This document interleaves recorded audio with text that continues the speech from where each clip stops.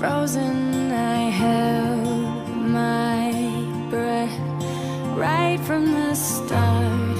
I knew that I found a home for my heart.